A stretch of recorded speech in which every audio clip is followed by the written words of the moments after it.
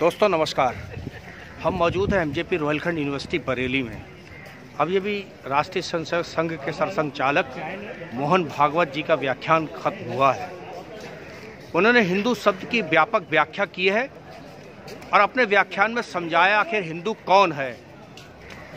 सबके पूर्वज, भारत भूमि पर रहने वाले पूर्वज, कहीं ना कहीं उन्होंने बताया एक हैं।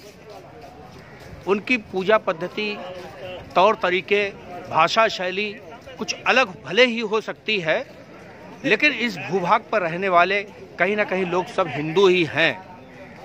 भले ही वो भारत माता भारत को ना कहें भारतीय कहें लेकिन मूल सब एक ही है। क्या बोले हैं? भागवत जी बरेली यूनिवर्सिटी में आइए सुनते हैं उनका पूर्ण व्याख्यान। जुड़े रहिए हमसे देखते रहिए हमारी खास रिपोर्ट।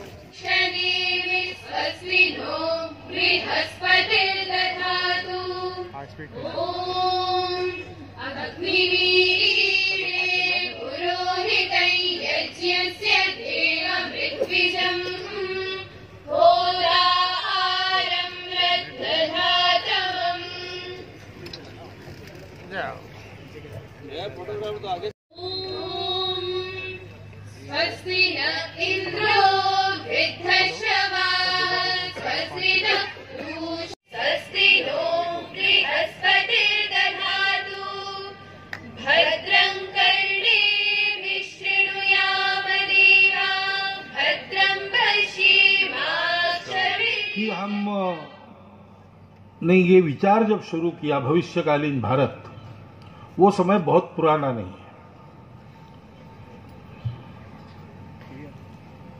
स्वतंत्रता का आंदोलन, स्वतंत्रता के प्रयास अठारह में शुरू हुए ऐसा हम मानते उसके पहले भी चले, फुटकर, परंतु पूरे भारत ने सोचा स्वतंत्र होंगे। ऐसा पहला प्रसंग अठारह का है। और तब से अनुभव अनेक लेते लेते लेते हम 1947 में स्वतंत्र हुए। तब के हमारे जो धुरीण थे, भारत के इतिहास को भी बहुत अच्छी तरह जानने, पहचानने वाले, समझने वाले। भारत के वर्तमान के लिए पूर्ण प्रयासरत उसको भी बहुत अच्छा समझने वाले और भारत वर्ष के भविष्य के लिए कार्यरत। ऐसे वो हमारे सब महापुरुष थे। कहा जा सकता है। साम्यवादी कहा जा सकता है। आज जैसा कहते हैं, इसे राष्ट्रवादी कहा जा सकता है। सभी राष्ट्रवादी थे। 1940 के पहले तो राष्ट्र के मामले में लगभग एक वाक्यता सबकी। थी ये बाद में बिखरना शुरू हुआ। कम्युनिस्टों का भी रजनी पाम दत्त जी की किताब है 1936 में प्रकाशित हुई। उसमें उन्होंने देश के बारे में कहा है कि दुनिया मानती है कि अंग्रेज़ों के आने से यहाँ पर वैज्ञानिक मनोवृत्ति वगैरह, सारी बातों का विकास हुआ, प्रजातंत्र आया। ये गलत बात है। हमारा लंबा इतिहास है वेद काल से। उसको देखते हैं तो ये ध्यान में आता है कि बिना अंग्रेज़ को भी, बिना अंग्रेज़ के भी हम भारतवर्षों को आधुनिक जगत में, आधुनिकता में ढला हुआ ऐसा खड़ा कर सकते हैं। टू 1972 में इस पुस्तक का रिप्रिंट किया गया, बिना बदले उसको जैसे का वैसा छापा गया। श्री अच्युत मेनन ने बाद में कहा भी था कि भारत को एक राष्ट्र हम नहीं मानते, हमारी भूल हो गई। कम से कम आदि शंकराचार्य के समय से तो भारत एक राष्ट्र है। तो इस कल्पना में एक वाक्य थी सबके लेकिन आज वाद उसको बनाते, राष्ट्रवादी ऐसा कहते हैं। तो राष्ट्रवादी भी थे वहाँ। गांधी जी भारत की जिस उदारता का प्रतिनिधित्व कह रहे थे, आज उसको गांधीवाद कहते हैं। वाद का विषय नहीं है वो वास्तव में। लेकिन वो भी दृष्टि थी। इन सब लोगों ने विचार किया, एक विचार किया। और कुछ बातें कही। उदाहरणार्थ रविन्द्रनाथ ठाकुर जी की प्रसिद्ध कविता है, चित्त जो तो भयो शून्य। यानी उस व्याख्यानमाला में मैंने कहा था, उसकी पुस्तक छपी आपको भी मिलेगी, उसमें वो है। मैं पढ़ के बताता हूँ, भविष्य का भारत उनकी कल्पना है where the mind is without fear and head is held high where knowledge is free where the world has not been broken up into fragments by narrow domestic walls where words come out from the depth of truth where tireless driving stretches its arms towards perfection where the clear stream of reason has not lost its way into the dreary desert sand of dead habit, where the mind is led forward by thee, यानी भगवान, into ever widening thought and action, into that heaven of freedom, my father, let my country awake. तो प्रज्ञा से विचार करने वाला सतत उत्कृष्टता के लिए प्रयासरत एकात्म भारत, जो निर्भय है और स्वाभिमानी है। ऐसी कल्पना उन्होंने की थी। ऐसे ही गांधी जी ने जिस भारत की कल्पना की थी, वो भारत कैसा होना चाहिए? सात पापों से रहित होना चाहिए। वो पाप उनको समाज में दिख रहे थे, दुनिया में दिख रहे थे। उससे मुक्त भारत की उन्होंने कल्पना की। वो सात पाप कौन से है? Wealth without work pleasure without conscience knowledge without character commerce without morality science without humanity religion without sacrifice politics without principle इससे मुक्त भारत की उन्होंने कल्पना की थी। अपने देश का संविधान है। उसमें उसी भविष्य के भारत की कल्पना की गई है। संविधान के जो शाश्वत चार प्रकरण है, संविधान की प्रस्तावना पढ़िए नागरिक अधिकार पढ़िए नागरिक कर्तव्य पढ़िए मार्गदर्शक तत्वों का प्रकरण पढ़िए भविष्य के भारत का रूप है। संविधान की मूल प्रति के पन्ने पन्ने पर जो चित्र है, उन चित्रों में से उस प्रेरणा का स्रोत आया है। प्रारंभ बिंदु क्या है और हमारा गंतव्य क्या है? दोनों को बताने वाला अपना संविधान है। उस संविधान को जब लोगों को अर्पण किया गया तो अर्पण करने के पहले और बाद में डॉक्टर बाबा साहब आम्बेडकर के संसद में किए हुए दो भाषण हैं। उन भाषणों में भविष्य के उस भारत की कल्पना है। ये सारी कल्पनाएँ जो है वो उस समय के भारत के सहमति का प्रतीक है। उस सहमति को सामने रखकर अनेक रास्तों से अनेक लोगों ने भारत के उत्थान के लिए, भारत की स्वतंत्रता के लिए, भारत के समाज के लिए प्रबोधन किए। साकार करना चाहिए। हमको और अलग से सोचने की ज़रूरत क्या है? दिशा। वही दिशा रहे। हो सकता है समय तब तक बदल जाता है तो समय के हिसाब से कुछ ऊपरी फेरफार करने होंगे और जिनको करने हैं, जो व्यवस्था रहेगी, वो सोचेंगे। बाकी भारत का जनजन और भारत के सभी समाज में काम करने वाले लोग, जो तंत्र के हिस्सा नहीं है, उनको तो उन्हीं बातों को सामने रखकर चलना चाहिए। वैसे ही संघ चलता है। संघ की भविष्य के भारत की यह जो कल्पना है, वह कल्पना इससे रत्ती भर भी अलग नहीं है। इन सब लोगों के शब्द अलग अलग है। उसका भाव समान है। संघ के भी अलग अलग शब्द है, लेकिन उसका भाव वही है। उसी को लेकर संघ चलता लेकिन सवाल वो नहीं है। सवाल यह है कि अगर ये सहमति थी और अगर इसको संविधान तक में और इस प्रकार लाया गया है तो ये अब तक साकार क्यों नहीं हुआ? सत्तर साल कोई थोड़े नहीं होते। हमारे साथ एक देश स्वतंत्र हो गया, उसका नाम इसराइल है। द्वितीय महायुद्ध के पश्चात की विभीषिका में बाहर निकलकर उसके और फिर से चलना प्रारंभ किया, ऐसे और दो देश है, जर्मनी और जापान। जर्मनी और जापान के और तत्कालीन शासकों से कुछ गलतियाँ हुई, उसका खामियाजा सबको भुगतना पड़ा। दुनिया ने भुगता, उन देशों में तो भुगता ही भुगता, उसमें से बाहर निकल के और नए रास्ते पर चल पड़े। हमारे साथ ही लगभग सब लोग चले हैं। हमसे कितना आगे निकल गए? मुट्ठी भर जनसंख्या और बिल्लस भर भूमि ऐसा इसराइल, रेगिस्तान। कोई साधन नहीं।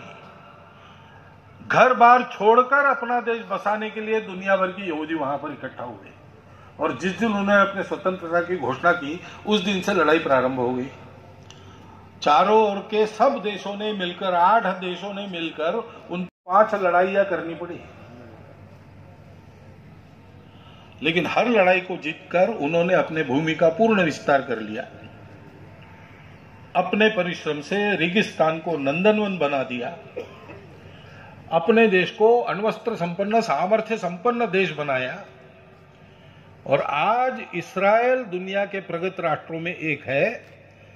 रेगिस्तान का देश फल, फूल, अन्न, धान्य एक्सपोर्ट करता है। और दुनिया में धाक ऐसी है कि जो आदमी को हाथ लगाया तो उसके फल भुगतने पड़ेंगे। बड़े बड़े औद्योगिक शहर बेचिराग हो गए अण्वस्त्रों से और जापान ने अपना जीवन प्रारंभ किया। एक समय बीच में आया वो दुनिया के बाजारों का राजा बन बैठा था। आज वो अमेरिका के प्रभाव से मुक्त होकर अपना स्वतंत्र जीवन जी रहा है। दुनिया के करते धरते जो देश है, उनमें वो एक है। यूरोप के देशों में सबसे प्रमुख जर्मनी फिर से बन गया है। हालत खराब थी, आज यहाँ पहुँच गए। और हम करोड़ों जनसंख्या, गुणवान लोगों की जनसंख्या वाला हमारा देश। स्वतंत्रता का उत्साह। लड़ाई हमने जीत ली। खंडित क्यों न हो? स्वतंत्रता मिली एक बड़े भूभाग को। देश का खजाना, उसमें सोलह हज़ार करोड़ रुपया बाकी है।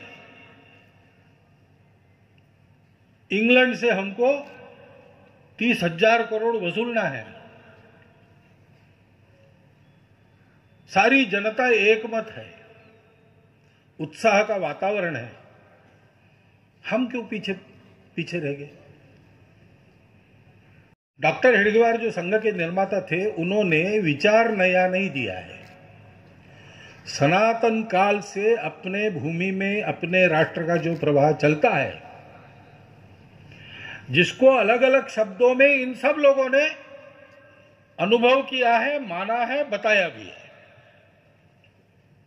वो स्वयं सार्वजनिक जीवन में कितने सक्रिय थे? बहुत सक्रिय थे। उनको तो जीवन में दूसरा उद्देश्य नहीं था। बचपन में ही अनाथ हो गए थे। बचपन से ही देशभक्ति की बड़ी उत्कट भावना उनमें थी।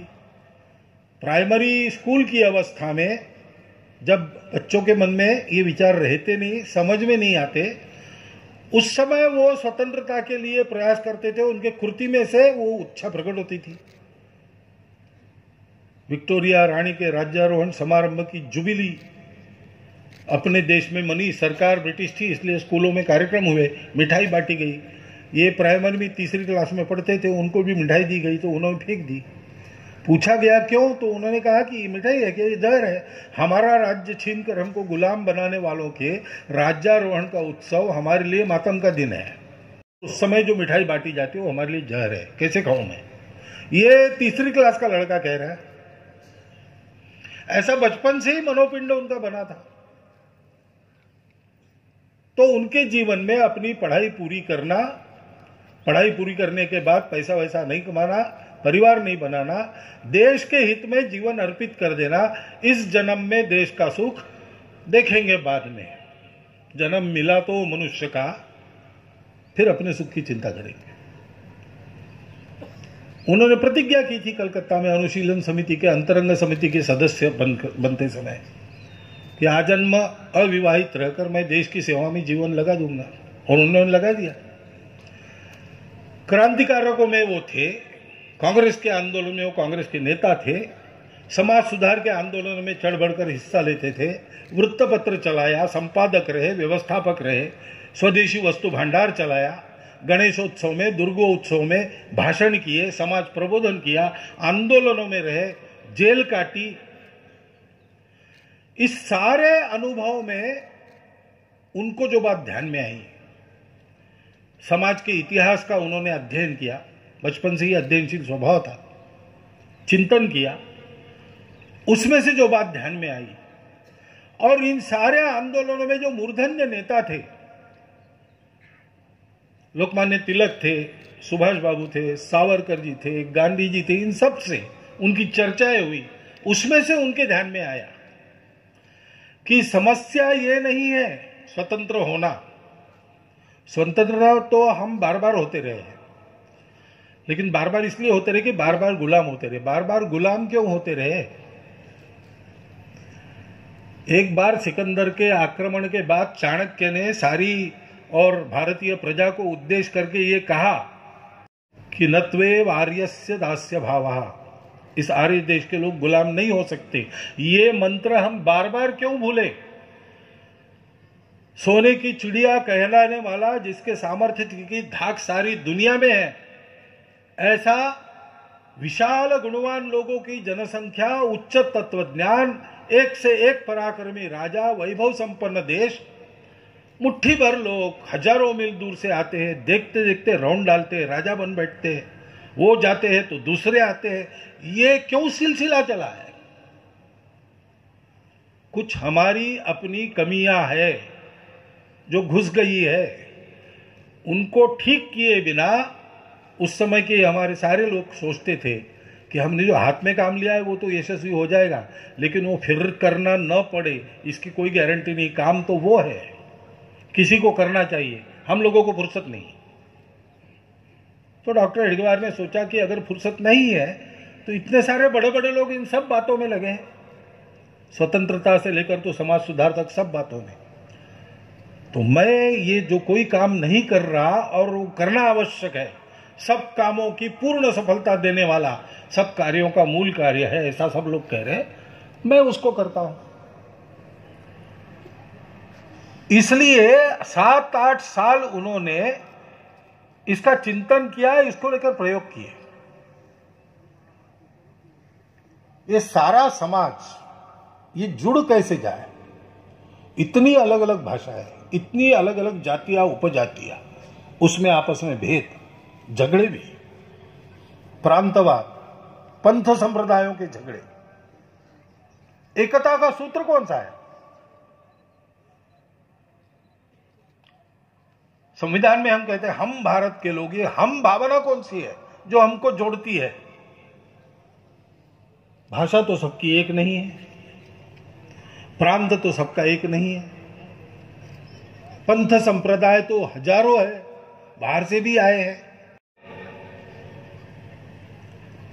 इन सबको जोड़ने वाली बात क्या है? तब उनके ध्यान में आया कि ये तो पहले भी था। पहले भी था। अथर्ववेद की रुचा है ना? जन्म बिभ्रति बहुधा विवाचसम।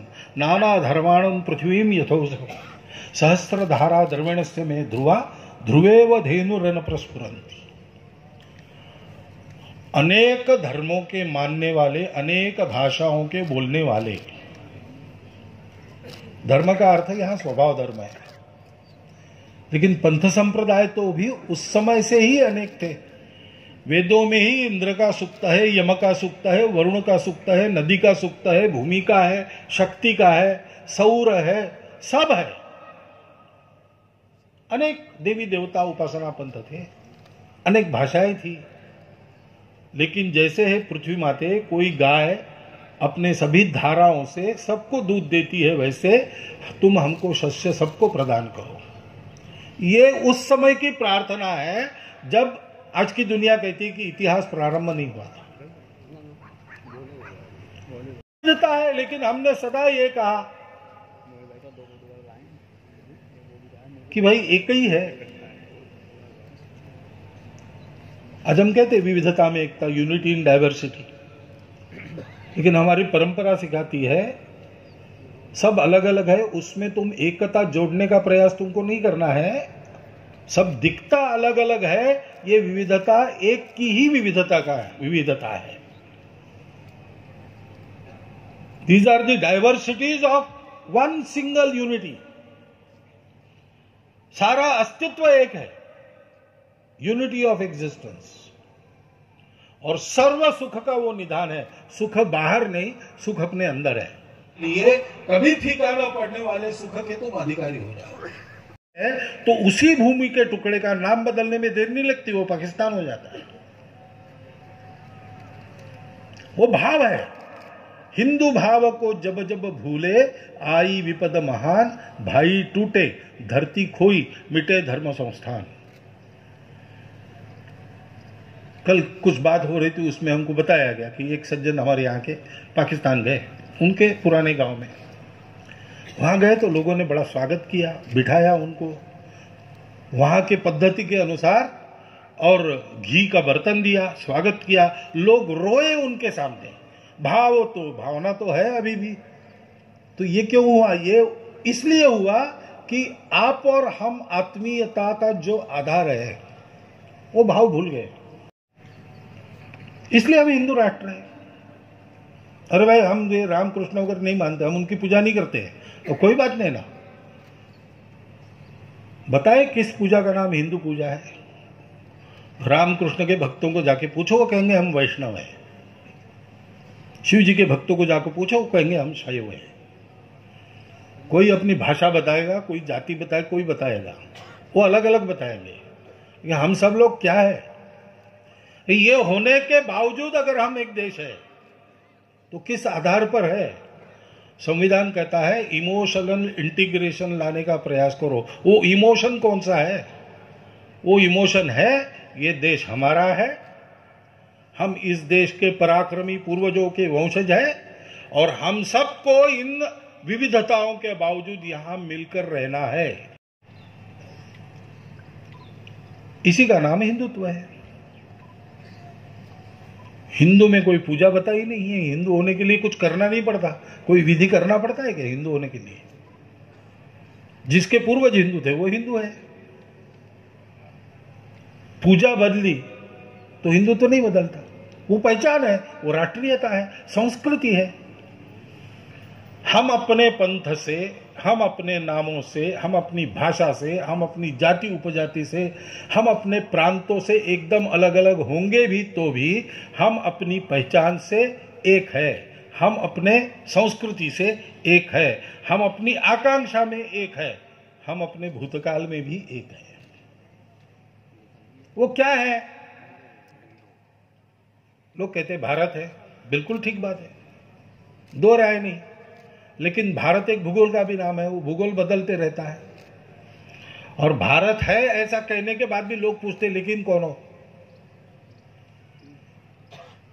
तो ऐसा कोई नाम जो भारत है इस पहचान को बाधा न लाए, और भारत है यानी क्या है, ये एकदम स्पष्ट करे कंटेंट को।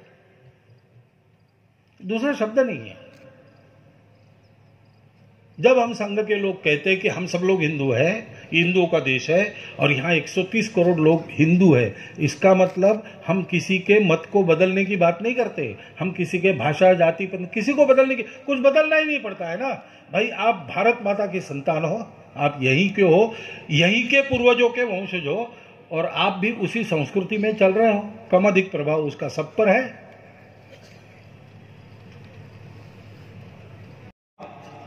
अपने अपने पंथ संप्रदाय को पक्के रहो वहाँ पे। हमारी सद्भावना आपके साथ है।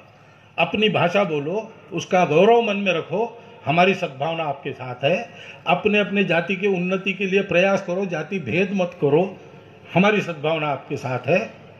अपने अपने प्रांत का नाम रोशन करो, हमारी सद्भावना आपके साथ है। लेकिन फिर भी हम भारत के क्यों हैं?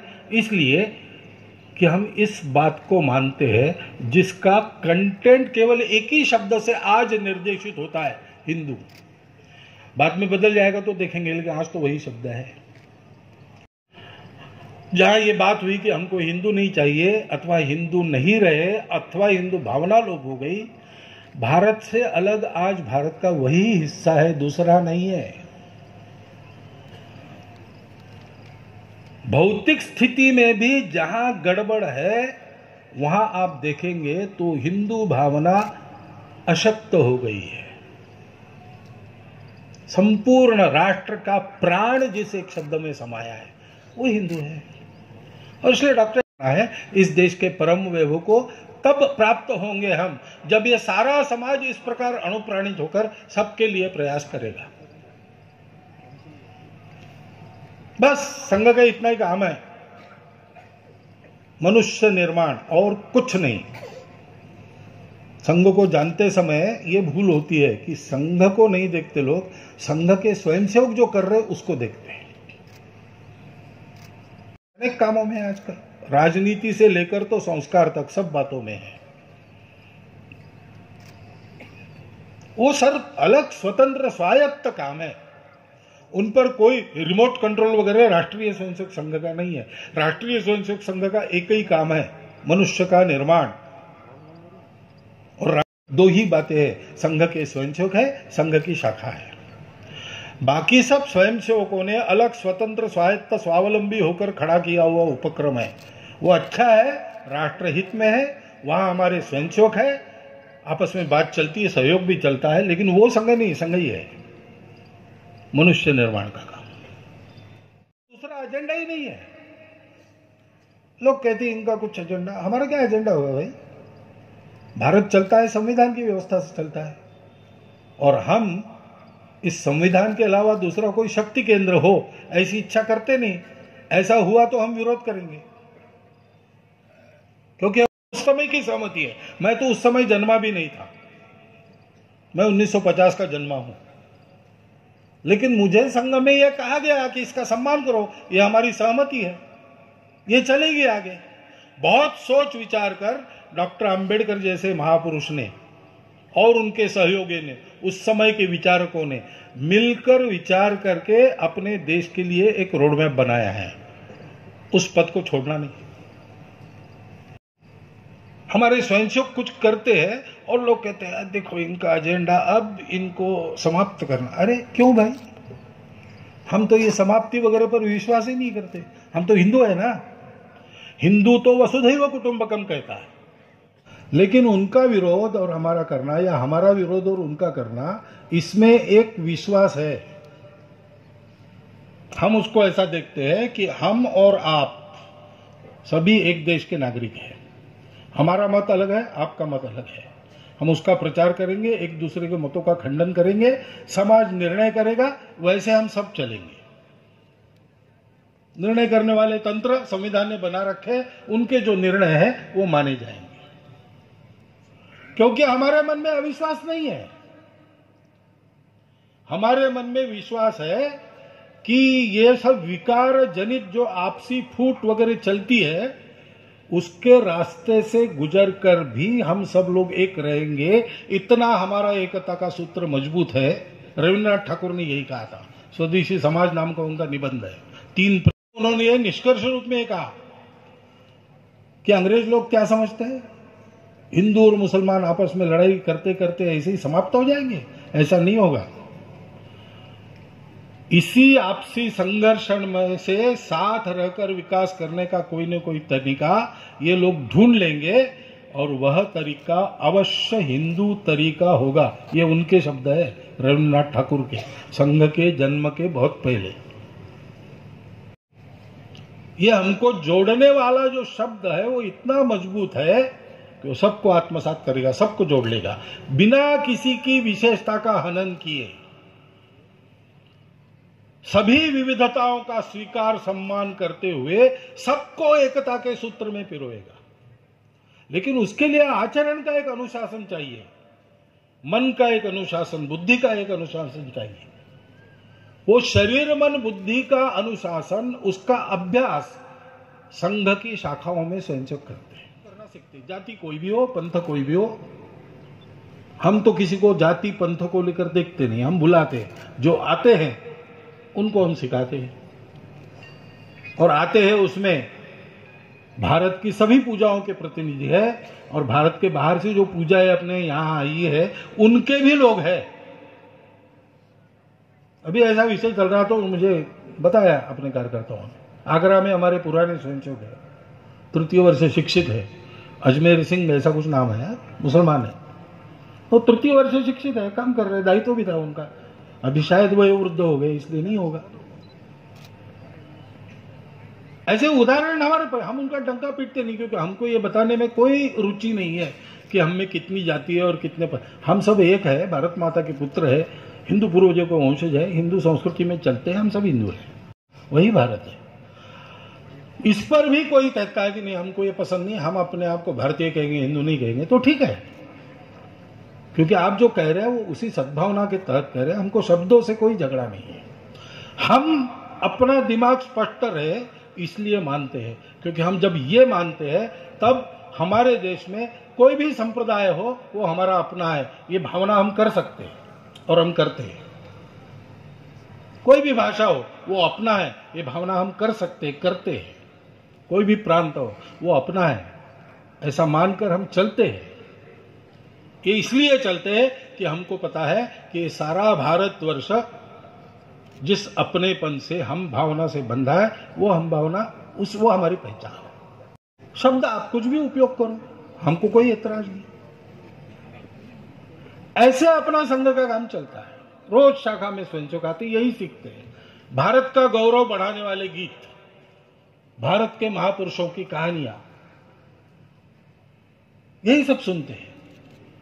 बिना जात पात, पंथ, प्रांत, अमीरी, गरीबी विचार किए, जो स्वयंसेवक आता है, उसके साथ भारत की मिट्टी में लोटपोट होकर शारीरिक कार्यक्रम करते हैं, खेल खेलते हैं, उसके घर में जाते हैं, खाने पीने का आनंद लेते हैं। वो इनके घरों में आता है, खाने पीने का आनंद लेता है, ऐसा चलता है।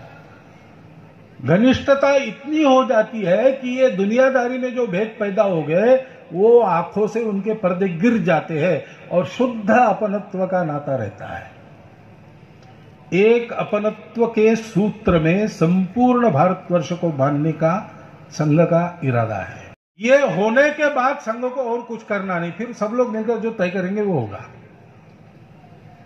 इसी को हम हिंदू संगठन कहते हैं। हिंदू संगठन होने के बाद संघ को दूसरा काम करना नहीं है, क्योंकि जो काम करने होंगे, वो करने के लिए उस समय का समाज, क्योंकि उसमें ये एकात्मता है, समर्थ हो जाएगा। किसका दर्द कहाँ है ये समझने में इस प्रेम के कारण ही वह हिंदू समाज उस समय का समर्थ हो जाएगा। किसी का दुख दर्द नहीं रहने देगा। किसी को अभाव में नहीं रह सब लोग हैं। इनके लिए मेरा जीवन है। इनको मुझे वापस देना है।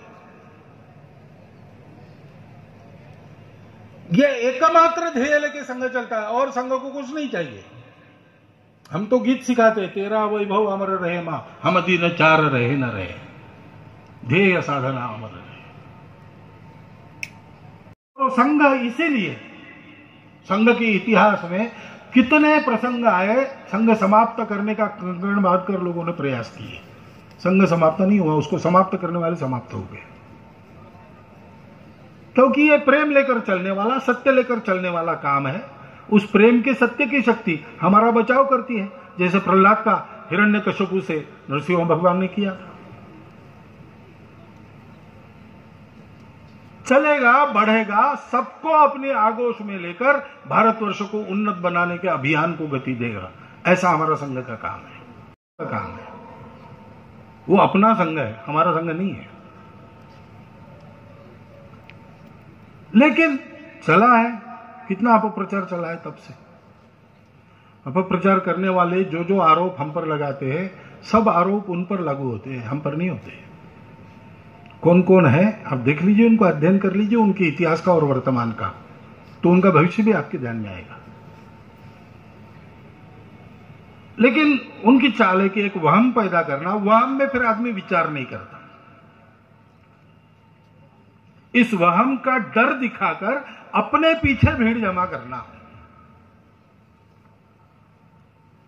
हम भीड़ जमा करने पर विश्वास नहीं करते। हमको किसी को हराने नहीं, हमारा कोई दुश्मन नहीं है। ये सब लोग ऐसा जो कर रहे हैं, वो भी वो भी हमारे अपने हैं। कल हमको, उनको भी जोड़ना है। पूरा समाज, यानी पूरा समाज, उसमें से कोई नहीं छोड़ा खंडे चलते हैं। कभी कुबुद्धि से जो मैंने बताया, वैसे चलते कभी अज्ञान के कारण भी चलते हैं। मालूम नहीं, लेकिन अपने लोग बता रहे गड़बड़ है तो हम कहते कि गड़बड़ है। और कभी कभी समझ में न आने के कारण भी होता है। मुझे प्रश्न पूछा कि कितनी संतान हो? ये छपा है कि मैंने दो बच्चों का कहा। मैंने ऐसे कहा ही नहीं, मैंने हमारे संघ का जो प्रस्ताव होगा जनसंख्या का, उसका बताया। मैंने कहा जनसंख्या एक समस्या भी है, जनसंख्या एक साधन भी बन सकती है। तो इसका विचार कर कर एक नीति बननी चाहिए। अभी सरकार की बनी है, जरा और विचार करके बननी चाहिए। सबका मन बनाना चाहिए उसके लिए और बाद में वो लागू करनी चाहिए सब पर। तो वो नीति अगर तय करती, इतने हो तो उतने, वो जितने करेंगे उतने। उसमें क्या है? मन बना है तो फिर कठिनाई नहीं आएगी। तो कैसे समझा? पता नहीं। ये भी हो सकता है कि पहले से कुछ किया। हाथों को टटोले नहीं। दी ऐसा अगर आप करेंगे तो आपको ये समझ में आएगा कि ये संघ किसी के विरोध में नहीं चलता। किसी बात की परिस्थिति की प्रतिक्रिया में नहीं चलता। संपूर्ण भारतवर्ष को, उसके सब भारतीयों को, उनके अपने जीवन में सद्व्यवहार, सदाचार, सत्प्रवृत्ति सिखाने वाला उनके सामूहिक जीवन का प्रयास भारत को परम वैभव संपन्न बनाकर विश्व में जो दुविधा आज है, जिसको दूर करना केवल भारत के बस का है, उस दुविधा को दूर करने वाला समाज बनाने वाला, ये एक प्रेम और सत्य के आधार पर चलने वाला अत्यंत सात्विक कार्य है। अब देखिए, आकर देखिए और अगर आपको लगा कि उस दिन भागवत जी ने जो कहा, वो सब गलत था तो आप विरोध कर सकते हैं। लेकिन मैं जो कह रहा हूँ, वो पुस्तक पढ़ के नहीं कह रहा हूँ। बचपन से मेरे जैसे हज़ारों लाखों स्वयंसेवक संघ में आकर जो अनुभव करते हैं, उस अनुभव को मैंने आपके सामने रखा है। वो केवल मेरा अनुभव भी नहीं है। हज़ार प्रकार की पृष्ठभूमि वाले, हज़ार प्रकार के स्वभाव प्रवृत्ति वाले, हज़ार प्रकार के प्रत्यक्ष स्थिति वाले स्वयंसेवकों के जो अनुभव है, उसका सार मैं आपके सामने रख रहा हूँ। कि भविष्य का ये भारत, जिसकी कल्पना आज जिनको हम founding fathers of modern India कहते हैं, उनके सपनों में था। जिसको साकार करने की आकांक्षा लेकर हम संविधान का पालन करके चलते हैं। और जिसके साकार होने से केवल हमारे भविष्यकालीन पीढ़ी की आकांक्षाएँ पूर्ण होगी या भारत की कीर्ति सर्वदूर फैलेगी, ऐसा नहीं तो दुनिया का भी सारा संतरास दूर होगा। उस भविष्य के भारत को गढ़ने की योग्यता प्राप्त करने का जो एकमात्र प्रयास आज चल रहा है और जो एकमात्र उपाय है उसको आकर देखिए, परखिए और अच्छा लगा तो उसके कार्य में हाथ लगाने वाले कार्यकर्ता बन जाइए। बहुत शांति से सुन लिया। और मेरे इस आह्वान का विचार आप करेंगे, इस विश्वास के साथ आपके प्रति कृतज्ञता व्यक्त करते हुए मैं अपने चार शब्द समाप्त करता